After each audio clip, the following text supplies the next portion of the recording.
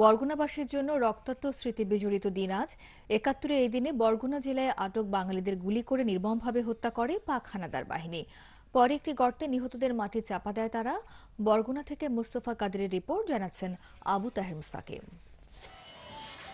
যে রক্তসাগর পাড়ি দিয়ে মহান স্বাধীনতা এসেছে, সেখানে বরগুনাবাসীর আত্মত্যাগ কোনোদিন ভুলবে না জাতি।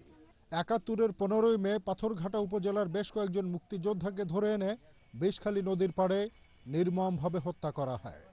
মেজর নাদের পারভেজের নেতৃত্বে উনত্রিশ ও তিরিশ মে বরগুনা জেলা কারাগারে চালানো হয় গণহত্যা।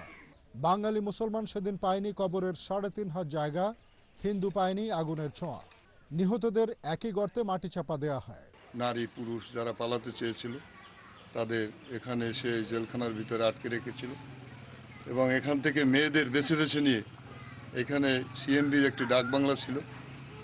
সেখানে তাদের পাশবিকভাবে নির্যাতন করেছে।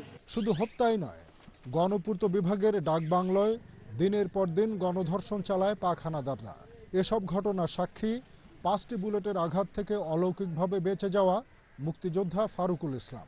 আমাকে প্রথমে একটা গুলি করল মাথায় গুলিটা লাগল না।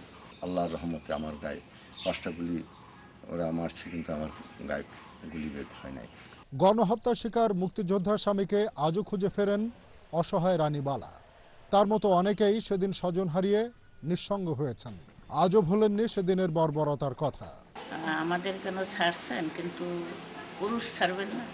বলল না আপনাদের সাথে সাথেই যাবে।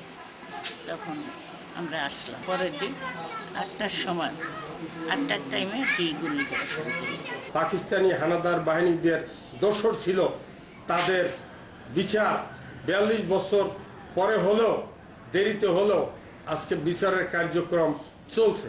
মহান আত্মত্যাগের স্বাধীনতার আনন্দ যেমন আছে, তেমনি যুদ্ধ অপরাধীদের বিচার করে দ্রুত শাস্তির ব্যবস্থার দাবিও আছে বরগুনার মুক্তিযোদ্ধাদের।